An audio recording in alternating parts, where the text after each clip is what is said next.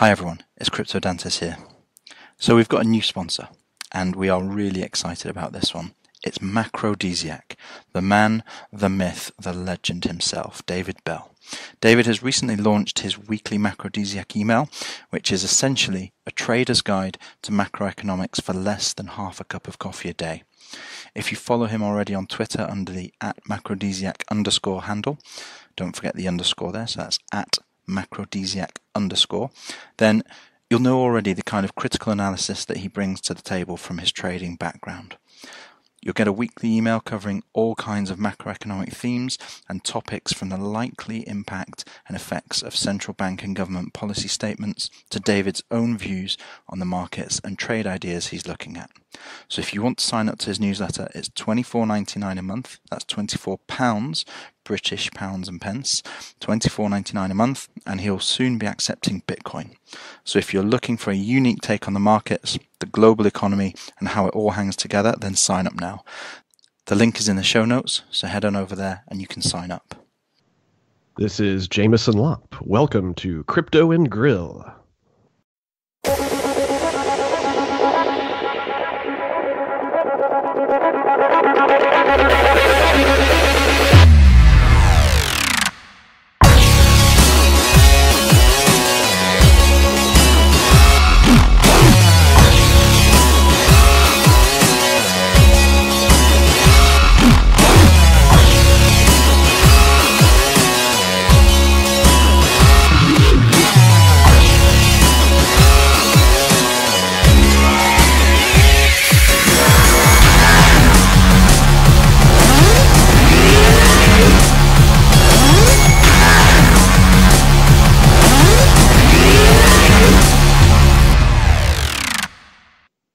Hi everyone, let's crypto and grill. It's Crypto Dantes here, and I'm joined as usual with none other than Stig of the Pump. Stig, how are you? I'm good. I'm really good. Back in my basement. I always like giving a location update. Yeah. Quite hot at the moment. Well, we will we will see more about. So we'll hear more about the importance of not giving location updates shortly, as I'm sure our guest will uh, will tell us the uh, uh, the importance of that, or not doing that rather. But um, look for our for our regular listeners we hope you've enjoyed the last few episodes. We've we focused um, more on economics regulation and some of the real banking and investment businesses that are starting to now develop and form part of the new digital economy. Um, we wanted to sort of step back to one of our earliest episodes and take a deeper look now at the importance of security um, and also on top of that privacy um, there's a lot going on in the world in, in Hong Kong and protests in China. And we wanted to try and um, figure out whether there's a link here between the importance of Bitcoin and cryptocurrencies. So, to do that and to have a broad ranging conversation about that, we've got none other than Jameson Lopp with us. Jameson, how are you? Not bad. Glad to be here. Excellent. It's fantastic to have you on, and we are really looking forward to this. Um, for the listeners that aren't familiar with you, um, haven't heard of you before, would you mind giving us a quick background? Let us know a bit about yourself, uh, perhaps your education, early career, and we can move on to um, where you are today. Um, I mean, that could probably fill a full episode, so maybe cap it to sort of two minutes or so. That would be great.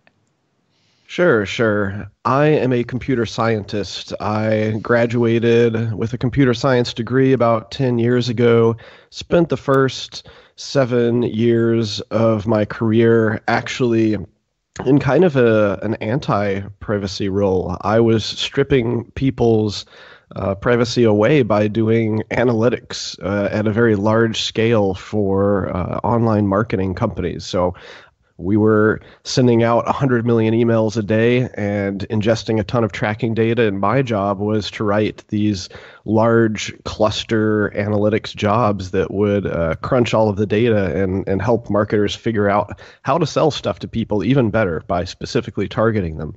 But i got interested in Bitcoin a number of years ago, uh, both for the ideological uh, perspective and the computer science part. Uh, I found there was actually a very elegant solution to a problem that I had never even thought about. I mean, most people don't really think about how money works.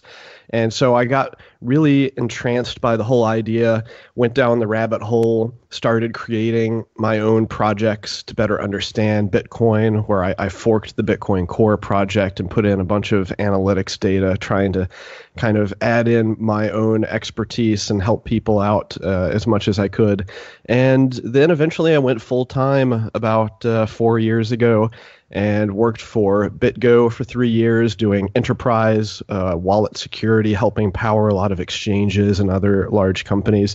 And then for the past year and a half, I've been doing a similar role where I'm now the chief technical officer at Casa, where we are also a multi signature wallet provider, but we're more focused on the personal side. So we're trying to really help people be their own bank, help people fulfill this promise of uh, having sovereignty over your own money, because it's always been technically possible to do that in Bitcoin, but there's been a very high learning curve. So we just want to help bring user friendliness to the, the best security solution that you can have.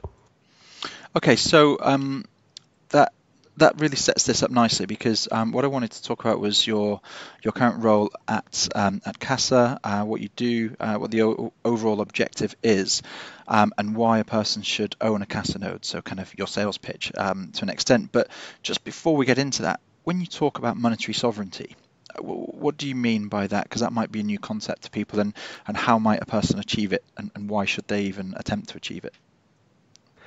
Well, there's a number of different aspects to that, and uh, there are some people like Trace Mayer, for example, who has kind of uh, deemed it as different classes or even different class citizens of uh, monetary sovereignty. The the really basic one is being able to control your own money and not having to trust a third party. So, you know, whenever you have money in a bank or in a brokerage or any traditional financial product, you don't actually have direct control over that. You have to go request to a third party that they do something with your money, whether invest it or withdraw it or transfer it. And while these days it may not seem that way because in many cases you can just go on a website and click a few buttons and it feels like you do have control over it. Uh, if you run into an edge case where the third party decides they don't want to fulfill your request, it very quickly becomes obvious that this is not actually your money. It's just someone else uh, who's holding on to your money for you. So, in the Bitcoin space, the way that you achieve that is by controlling your private keys. As long as you have the private keys to your coins, no one can uh, decide whether or not you're able to uh, create a transaction, send your money wherever you want. That is kind of the basic level one. The, the next level that we're trying to help people achieve is to actually control what the rules of money are. And the way that you do that in Bitcoin is you run a fully validating node. And this basically ensures that nobody is breaking the rules of the system, the rules to which you agree Bitcoin should actually be. And running a node has been fairly difficult uh, before now, at least running a node that is um, constantly on and, and uh, it really turns into kind of a systems administration problem. And so that's part of the reason of, of why we developed the Casa node to go along with our other products. But I believe that when we have a large set of people who are collectively uh, making individual decisions and creating this new type of organic consensus, basically it creates a much more robust system where we're we're creating a monetary system that has the rules that are the most beneficial to the most number of people, or at the very least, the least harmful to the most number of people. It's a very interesting new type of like governance or or philosophy or what have you, and people have been arguing about how it works for a number of years now, but it's it's fascinating because it is nothing like the existing system. You have no control whatsoever over the way that the U.S. dollar or the the pound or the euro or anything like that works. You just have to use it. Gotcha. So, eh, really fascinating. One of the I, one of the questions I have, probably because a lot of our listeners uh, we expect early into this or beginners, could you how would you describe what a node is to uh, Joe Bloggs on the streets, and then what the difference between a node and mining is, or is there any difference?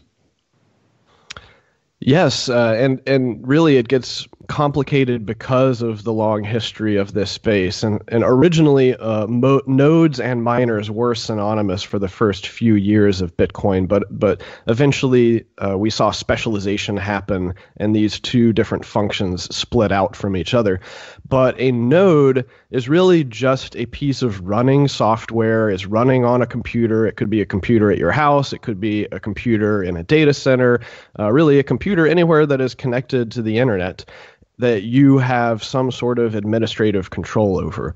And it is running uh, one of several different Bitcoin software implementations. Last I checked, there were probably seven or eight different software implementations of Bitcoin because Bitcoin is fundamentally not software.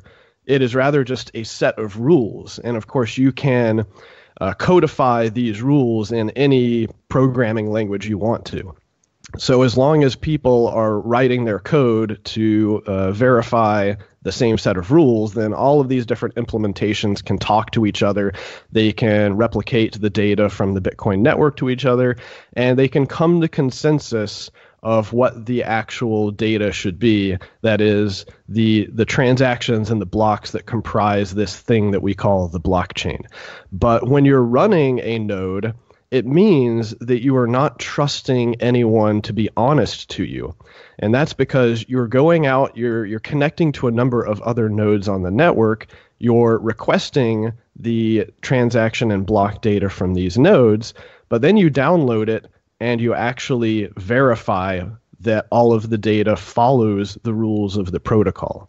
And so if you are given bad data or you are given a transaction that, you know, spends the same money twice, all your node has to do is reject it. You throw it away. You don't actually have to do anything. It's this great power. It's almost like a veto power of saying, "No, I don't believe that this is correct, therefore I don't accept it, and you can't make me accept it. And that is what gives this network an incredible level of robustness. I've referred to it as kind of the power of no or the power of apathy, that because we have tens of thousands of, of individual nodes, various entities on the network that can very easily reject anything they don't like, it is pretty much impossible for you to get bad data to replicate through the network. It is pretty much impossible to fool the entire Bitcoin ecosystem as a whole. Okay, so you can so you can run a, a full node then without having to be effectively a miner as well. You can just verify the transactions, but not search for the block reward. Correct. Uh, if you are mining, then at least someone needs to be running a node. Uh, these days, mining is so specialized that you usually just connect to a pool, and the operator of that mining pool is the one who is running the node. Uh, but essentially, if you are mining, you are grabbing transactions, you are c- constructing a valid block, because if it's invalid, you're going to get rejected by the network and you're not going to get paid. And once you find a block if you're lucky enough to find a block by by getting the correct uh, proof of work that everyone will agree meets the required uh, difficulty the computational difficulty then you can broadcast it out on the network. Everyone validates it. They come to a consensus and they say okay you created a, a block. We're going to add it to the blockchain and we're going to reward you with these new bitcoins and the transaction fees so how does Casa then fit into all of this, and what's the sort of overall objective of Casa?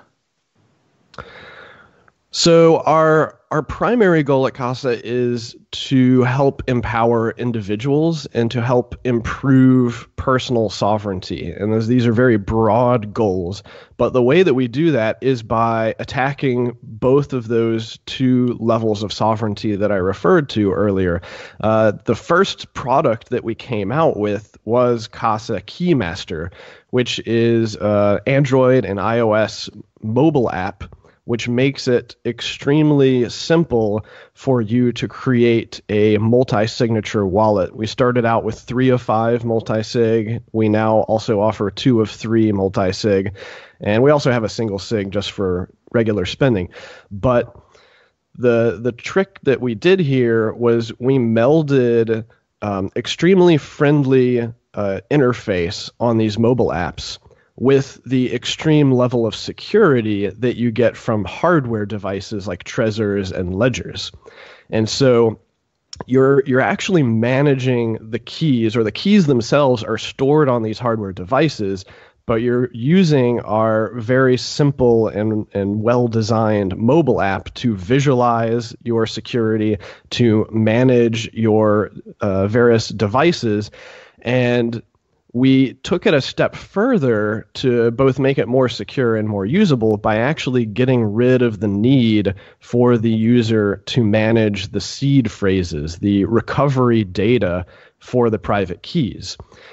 And the way that we did that was we basically created a more flexible system where if one of your hardware devices stops working or gets stolen or lost or whatever, instead of having to go through and dig up through potentially some arcane backup system where you're trying to keep this seed phrase uh, secure and robustly stored in a way that won't get lost, all you have to do is go buy a new Trezor or Ledger and plug it in and, and basically click through our wizard in our software to do a key rotation.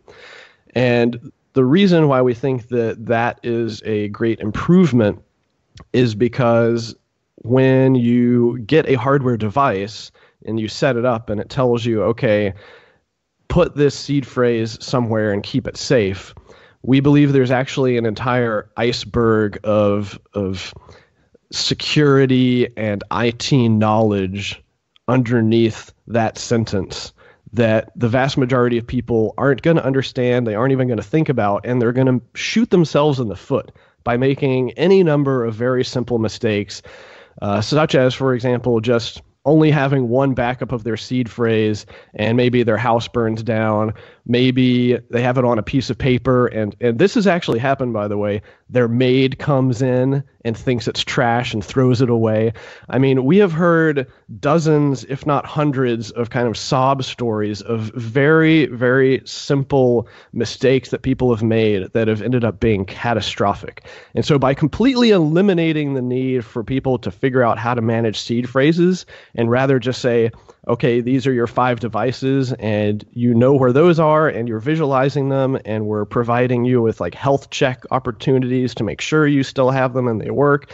It's it's basically baking the best practices of uh, private key management into the software so that the user doesn't have to go spend a ton of time educating themselves. All they have to do is open the app and and uh, use the interfaces that we're providing to them. I'm I'm looking at my dog sitting next to me rather warily that he may eat my private key. Better not. I'm sure that has happened to someone.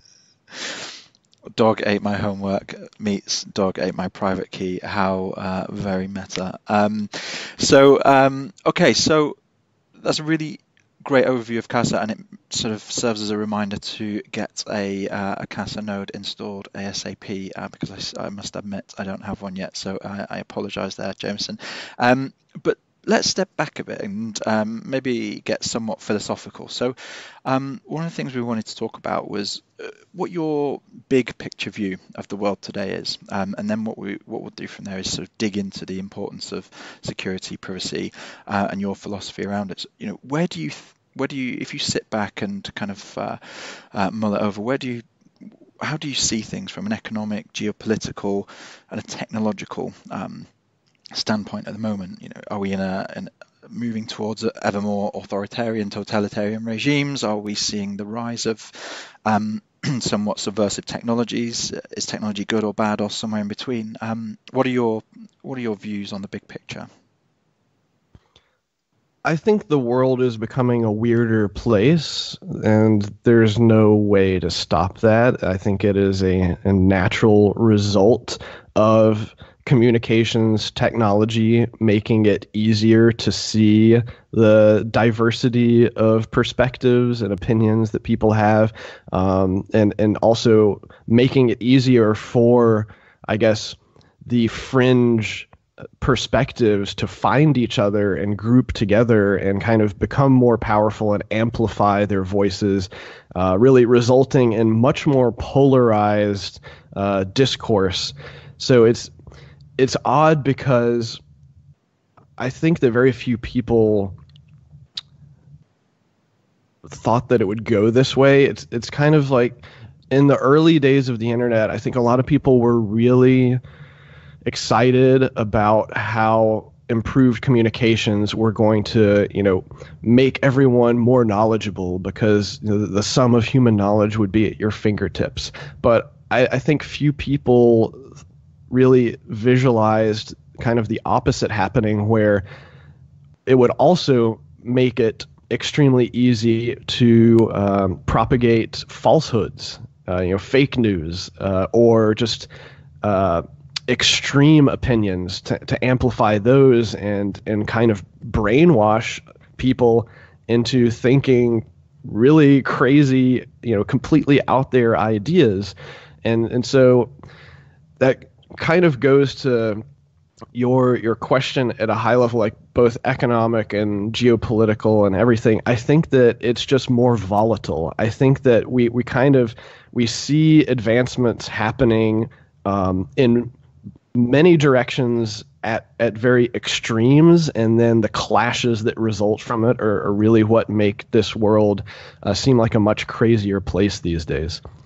So what is going to happen with technology? I mean, it's it's kind of a question of like, you know, is is this a trend that will continue forever, or will we we figure out a way to reconcile these things?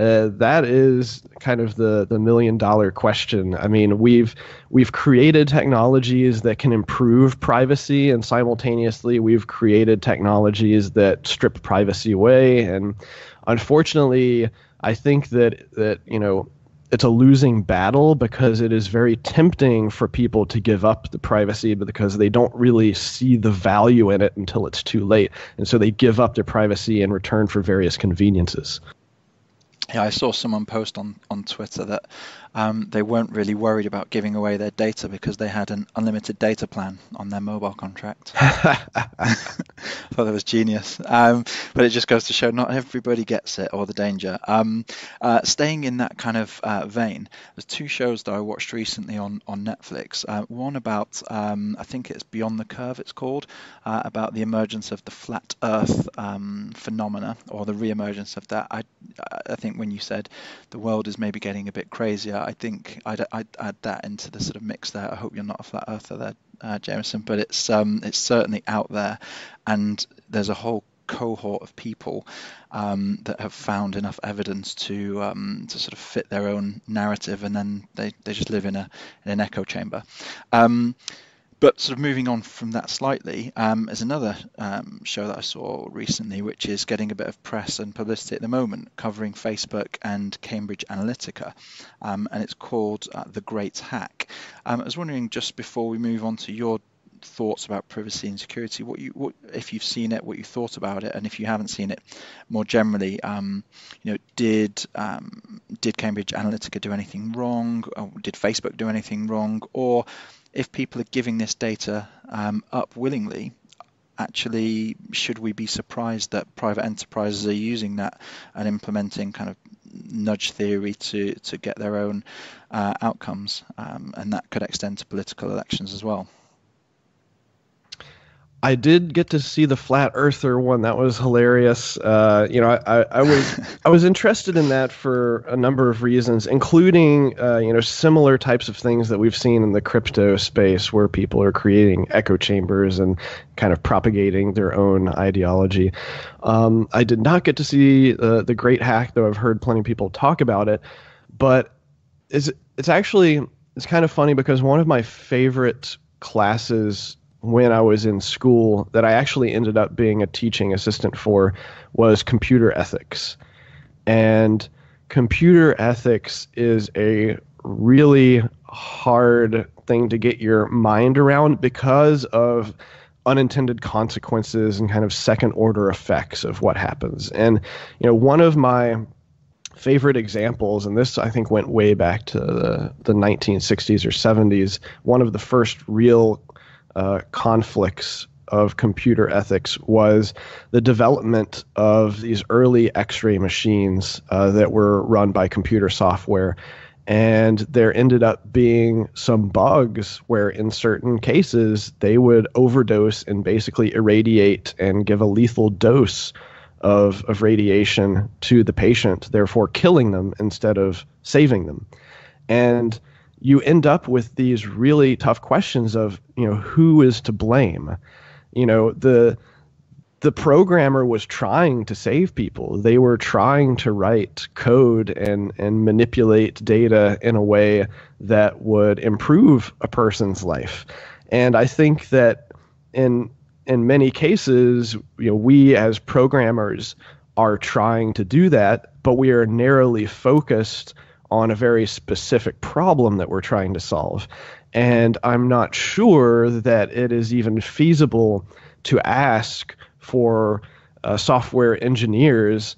Um, I'm not even sure if it's feasible to ask at a greater level of like organizations to think about or be cognizant of what the unintended consequences, what the second order effects of what you're doing really are going to be. I mean, it's kind of like asking people to predict the future.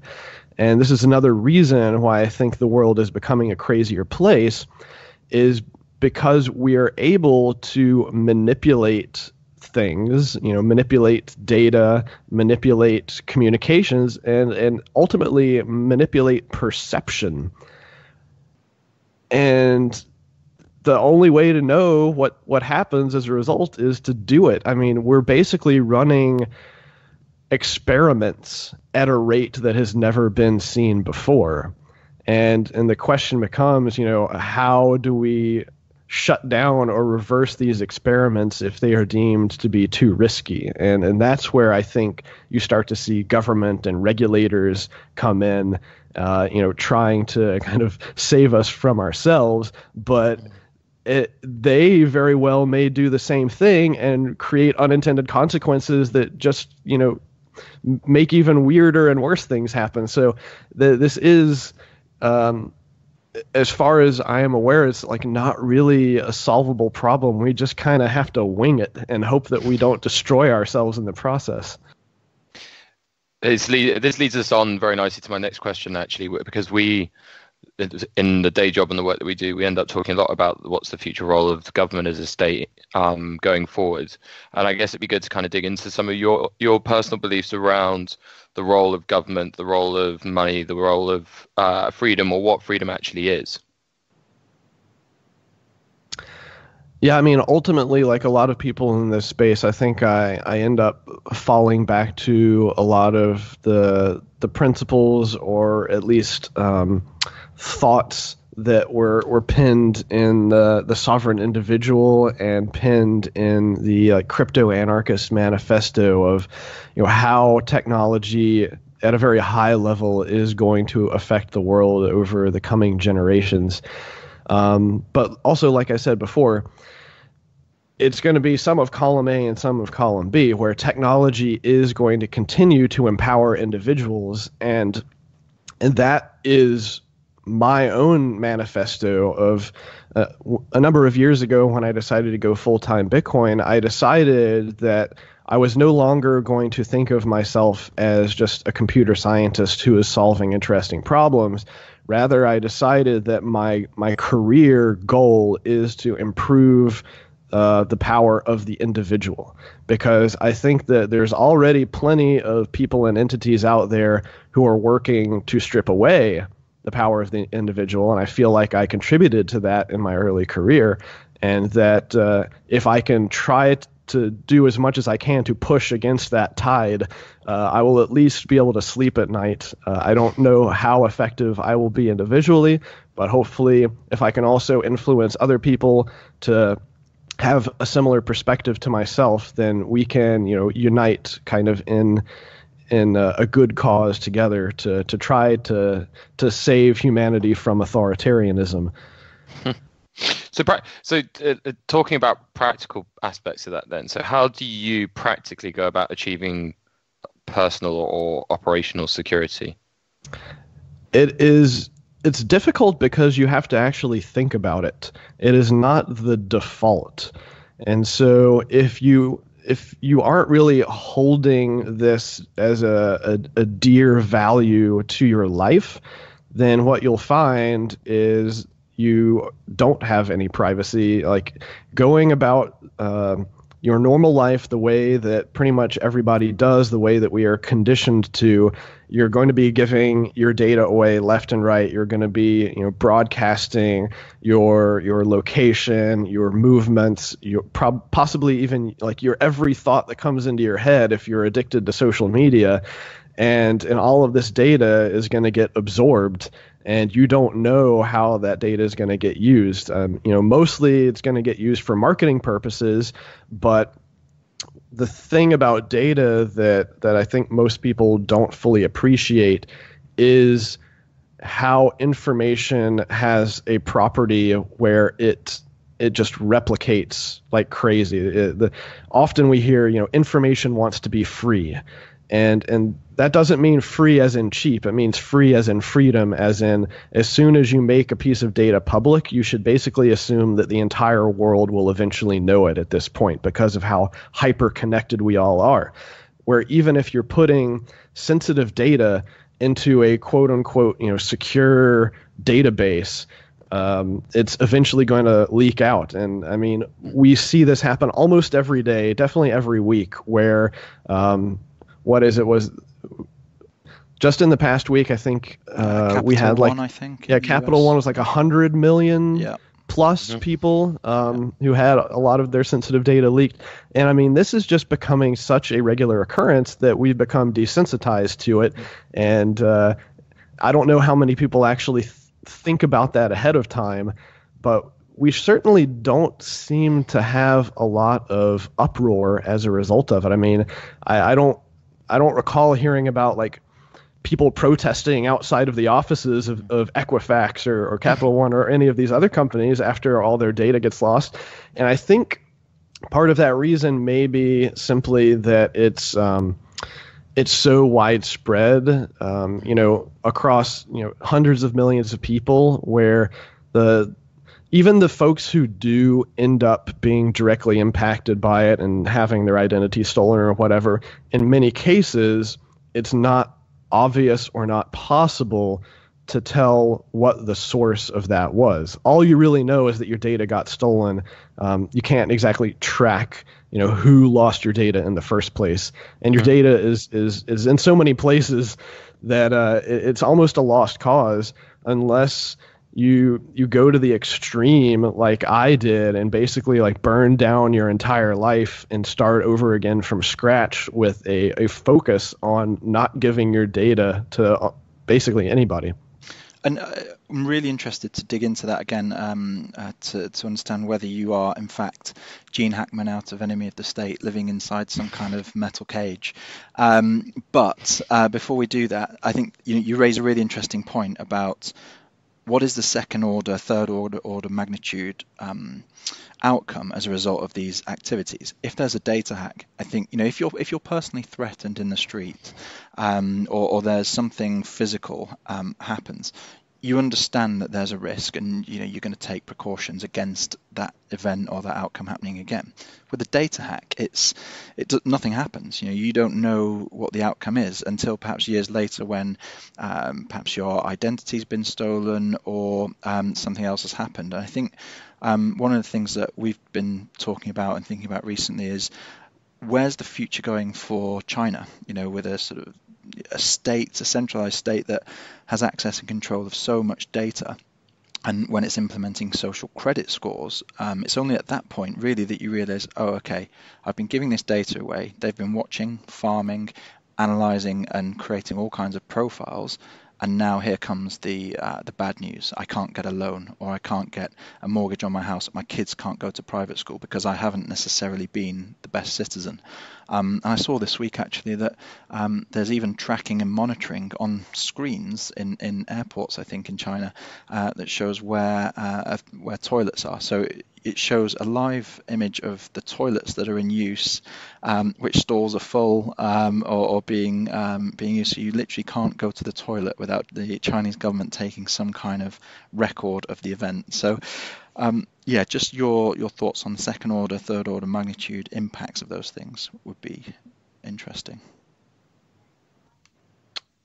I think one of the more concerning things is what is going to happen if you try to opt out of all of this. You know, at at what point is the government going to you know put their foot down and say no this is this is not something you can opt out of if you don't let us track you then we're basically going to ruin your life and it does seem like China will probably be sort of the test bed for that. Um, I'm I'm fairly hopeful that you know countries that are more steeped in ideologies of freedom will be able to resist it. But then the question is, how long will they be able to resist it? Will it only be for a generation or a few generations? Is this something that will inevitably, you know, take over the whole world? Uh, I think you also can get into some interesting theories around sort of global one world government uh, type situations. You know, will the world become so hyper connected that even the governments uh, merge and begin to realize that you know physical boundaries are, are kind of silly? Um, maybe, maybe we need to have some sort of alien invasion to unite us all uh, before that happens, but who knows? Don't go all um, flat Earth on us, Jameson. You've been on for half an hour and we've sent you to aliens. Okay. Uh, or or a visit from future me. Exactly. So you know all we can really do is is fight against it as much as possible and hope that we can stave off this uh, eventual panopticon of of governments. Um, there's also, of course, the the question of whether or not we can create systems that eventually make governments uh, less powerful. You know, there are some theories that you know a sound money like Bitcoin could weaken the power of the states by removing their ability to print money, which is you know essentially just a, a more subversive form of taxation. Um, you know, there are theories that if governments can't fund their war machines by printing tons of money that you know that may reduce the the amount of, of resources that are spent on uh, destructive technologies and, and perhaps we'll have more uh, at least relatively more investment in constructive technologies. But um, it's it's going to be a never ending battle. And and I think that the allure of of capturing and ingesting absolutely every bit of data that you can in order to analyze it is it's it's power. It's just a new form of currency in in and of itself. Because when you become basically omniscient, um, you can start to influence people. You can start to create new rules and basically force them on people, uh, possibly even without them knowing it. Um, that is is where we're getting into some interesting questions that I think you know came up around the last election cycle in the United States, where you know people. Ha- are saying, well, you know, there's political influence uh, of Russia in the United States, and they're basically using our own algorithms against us by, you know, having troll farms and bots and whatever uh, push different messages out to to basically uh, train the suggestion algorithms on these platforms, which then will amplify specific messages, even if it's a message that is extreme and not believed by many people, if you amplify it enough, you might actually be able to, to convince enough people that this is the truth, this is something they need to believe, and then as a result, actually start to create almost a groundswell movement of, uh, essentially convincing people. Do you, it's a it's a random question, but a thought that's come to mind is: Do you think that we're potentially in the future going to end up with a genera- generational divide between those that get this entirely because they're of a younger generation. They've been brought up understanding the power of their own personal data from day one versus those that are of the older generations who have kind of grown up with it but don't really care? That is a good question. I'm I guess I I don't really know enough younger people to understand their perspective on data and privacy. Um, it's just a thought. It is, you know, it, it I, I'm sure there are going to be generational divides. Like we're already seeing that, um, you, you know, children that are, are coming up in the, the internet connected age where they're they're using apps basically as early as toddler age uh, I think that their their brains are you know conditioned to this new type of interface, this new environment, this new hyper connected world. Uh, much better than even I am. Um, you know, I see stark contrast between uh, the the folks who are teenagers and younger uh, versus myself, where I got into technology when I was in like you know middle school, high school age, versus my own parents who you know can barely use a keyboard and don't understand you know web interfaces and uh, you know the ability to interact uh, interactively with a number of these different interfaces is much more difficult for them. So this this is also just one of those things where it's very hard to say how the world and is going to keep continue evolving because humans adapt so quickly. Um, you know, it it may it may not be that the existing generations adapt to something, but the next generation who d- never knew anything else will uh, very easily absorb and and start to uh, respond to these these new technologies, probably in ways that we can't even imagine. Very true. So how so going back a bit then, so how did talk us through how you uh, achieved control? How did you wipe that slate clean? How did you drop off the grid? Well, I started by reading several privacy uh, centric books, and, and those were good to set a groundwork for kind of uh, real world or meat space privacy. Uh, there weren't there weren't very many good uh, digital privacy books because I think it's a much newer phenomenon. So for for more of the digital privacy stuff, I had to do a lot of, of online research. But essentially, um, you basically had to start from like first principles of like what what is the most basic data of yours that is important that can potentially be used against you? And so that is things like you know your actual your identity your location um, your ownership of various assets and anything that is a public record. Um, you know usually government records um, that legally must be available for people to to be able to search through and and find the results of. And so I, I kind of started off with that and saying, okay, I need any public records that have my name on them, not to have my location on them. And you know, how do you get around that? Well, unfortunately, this becomes a legal problem and it is different for every jurisdiction. And in many jurisdictions, you probably don't have a good solution to it. But at least in the United States, we have uh, the ability to create corporate entities. And there are certain states where you can create corporate entities that obscure the owner of the entity.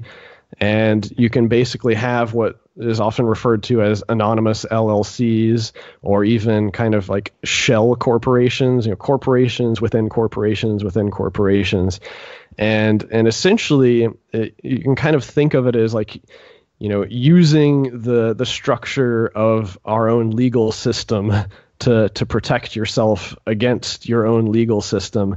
Um, it really starts with that, and then once you have that foundation, you then have to realize that every time you put your your information into any website, into any database, uh, really, it, anytime you give your information to any third party provider, you have to assume that they're going to either give it they're going to give it to other people either willingly or unwillingly just due to the nature of data and information wanting to be free and um, that basically means you have to do one of two things. You either have to use a proxy of some sort and this proxy many people think of proxies in terms of the internet and network props, proxies like vpns um, but you can use proxies in terms of uh, legal entities, in terms of other humans, you know, friends, family, uh, attorneys,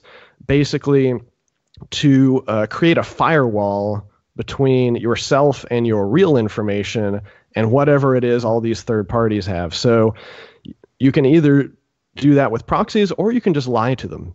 And and so it it it, it varies case by case on every different interaction I have, but I'm basically either giving these like proxy uh, corporate information to third parties, or I'm just giving them junk, because it's not illegal for me to lie to to you know a um, a random website that I sign up for and give them a fake address. Uh, it it really doesn't matter. Like there's in many cases. Uh, companies are asking for far more data than they actually need in order for you to maintain a relationship with them. And so I'll, I'll give them an email address that's not connected to me. Um, I'll use a, a throwaway credit card that can't be traced to me. It doesn't have my name on it. Um, it it ultimately results in you having to understand all of these possible different interactions, uh, and there's far too many of them to list here. But I have a very in-depth article on my blog that that lists every interaction that I've had to change my own behavior for uh, in order to protect my own information. And I am I right in saying I did hear an, an interview with you previously when all of this, um, not training, but I guess this uh, that you'd put into practice actually came into use one day when uh, you you were the subject of what's called a SWAT attack. Is that right? Or was that, yes, or that, did you or did you take all this action as a result of that? Uh, it was as a result of that. Um, right. It was it was when my entire neighborhood was shut down by the police, and I had uh, a dozen or so officers with rifles surrounding my house. That I realized that any really anyone with the slightest modicum of of internet savvy could find my physical address and then could use a uh, throwaway uh, voice over IP telephony service to place a phone call to my local police department and claim that they were me and that I had murdered a bunch of people and ha- were holding other people hostage, and essentially uh, leverage their knowledge of technology in order to use the force of the state against me. And that was really the scary thing was, you know, I've been a libertarian for a long time. I, have you know, generally been anti-government in a variety of different ways, but I always thought that, you know, as long as I was a good citizen, I didn't break uh, any major laws, I didn't hurt anyone, that I didn't have to worry about the state actually threatening me. I never thought that the state may have created a bunch of exploits that could be used by other random people against me. And the swatting thing is one of the more extreme variants. But we, uh, at least over the past couple of years, I've heard a number of people tell me about a variety of other ways that resources of the state have been uh, basically aimed at them by random third parties.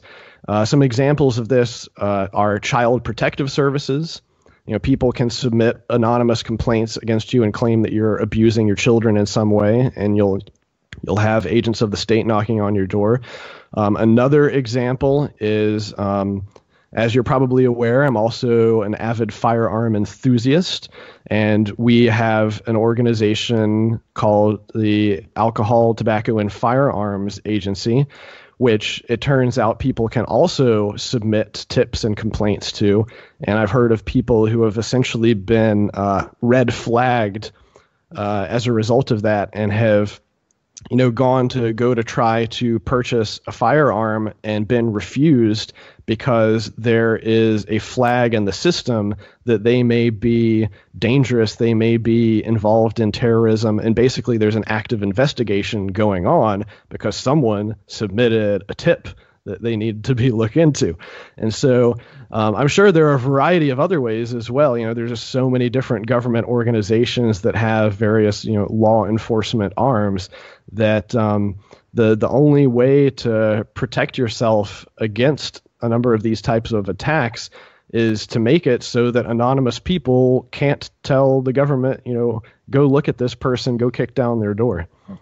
I bet the Alcohol, Tobacco and Firearms Agency and Explosives Agency have the best Christmas parties, though. Quite possibly. um, okay, that's really interesting and um, sort of taken us down a route that uh, not many of our other sort of um, sessions have gone down on the importance of privacy.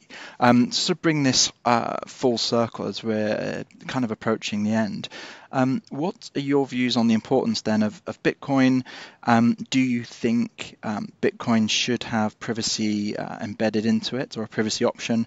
Or do you think it's more important to have uh, almost a kind of bimetallic standard, a, uh, a, standard where Bitcoin perhaps could be the base settlement and other protocols, Zcash or Monero, um, could serve as those privacy coins? Um, and then also scalability, you know, longer term for Bitcoin, is Bitcoin the one uh, protocol that we want to get behind, um, or will this uh, diverse portfolio of cryptocurrencies that the state can't necessarily influence and control um, emerge. What are your views?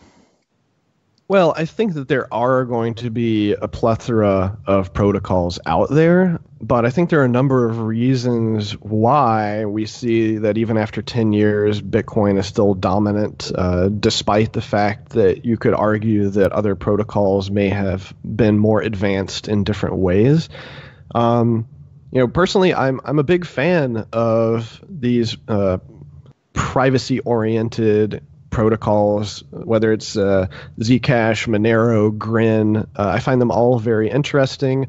Um, all of these things, of course, are still experiments. Even Bitcoin is still an experiment. We're we're still trying to improvement. It's it's a long way from being a like 1.0 uh, solid product. It's not done by any means, but I think that it's it's tricky just from a usability perspective. Um, I may have a better grasp on the complexities because I've worked on wallet software for a number of years. But what you find is that when you're trying to manage uh, a dozen or even dozens of different uh, crypto assets, it becomes a real pain because there's not a whole lot of good management software that supports all of these things, and so you end up having you know a dozen different wallets potentially. Um, and e- even some of the wallets that do support every crypto asset under the sun, um, often they are like software only wallets and essentially, what you're doing is you're putting all of your private keys for all of your crypto assets into one piece of software, which I find to be a very scary proposition. You know, you're basically creating a single point of failure. Um, for long term holding as well, I only really advocate that people use multi signature wallets for long term holding. If you want to eliminate single points of failure, you can't be using a single signature wallet. But um, you know, should privacy be added to Bitcoin? I think that that's inevitable. There there are a number of people who are working on it, but the type of privacy that you see being developed for Bitcoin is not the same as what you see on other networks, mainly due to the constraints of how difficult it is to change the protocol. Um, and the extreme conservatism of the developers. So instead of seeing really uh, cutting edge, you know, unique cryptographic constructions getting added to Bitcoin. Instead, we see um, basically ways of minimizing and aggregating data so that you can have a lot of people who are interacting with the protocol, but they're doing it in a way that they're basically hiding in the crowd. Um, so we're, we're seeing you know improvements in the line of aggregate signatures, for example. Um, we're seeing improvements in the line of being able to hide your your basically your scripts, your your complexity of your scripts so that you're not putting them all on the public blockchain. You're only revealing the minimum amount of data that is necessary to, to do your business.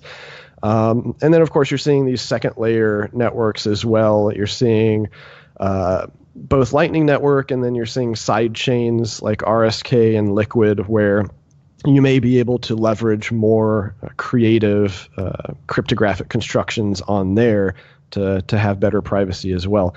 But it's it's definitely got a long way to go, and it's it's really hard to say how long it's going to be before we really believe that like Bitcoin can can no longer really be analyzed. Um, that there's just so many different, I guess, types of of attacks that can happen. It's not just about like on chain analysis. You also have to worry about people who are, are listening to the network. You also have to worry about the fact that there's a lot of uh, third-party custodians that are doing AML KYC and probably you know leaking your your personal data to other analysis companies or or government agencies, and so. Um, there, there's a lot more to it than just protocol changes. I think we also need to have, uh, you know, better way to actually uh, it, have on ramps and off ramps, for example, that don't require you to give up a lot of private information. So if you so if you were to pick a kind of a leading protocol, then who would you who would you kind of look at? Would you look at someone like Monero or Zcash or uh, even Mimblewimble? I like Monero and Mimblewimble the most, um, mainly from a like practical standpoint. My main problem with Zcash is that while they have a, a great uh, level of like potential privacy, the the vast majority of wallet software out there doesn't actually support it. So last I checked, you know, 99% of Zcash transactions were unshielded, meaning that they have no different level of privacy than a regular Bitcoin transaction because it is a fork of Bitcoin. So, you know, if we can get to the point where, and I, I know the Zcash folks have been talking about this, but if they can get to the point where the shielded transactions are like the default and possibly even the mandatory, you know, only possibility, then I think it, Zcash would be a much stronger uh, network in terms of privacy. Cool. Um, Jameson, we're about out of time, but it wouldn't be an episode of Crypto and Grill before discussing uh, what you would put on the barbecue. So uh, let's flash forward um, into a dystopian future um, where um, you and your secret band of other um, pseudo spooks are invited to your lair for a barbecue um, to celebrate completely breaking um, away from the, the system. Um, what are you going to put on the barbecue to keep everyone fed and happy? Um, and uh, yeah, what's your what's your choice? Well, it really depends on how much time I have. As much but, time as you want. It's your event, Jameson. You can have a week, a month, however long you want. Well, um, I'm a, a big fan of nice, you know, slow roasted rack of ribs. Good choice. I think that was my choice way back at, at the beginning. Excellent. well, look, uh, this has been fantastic.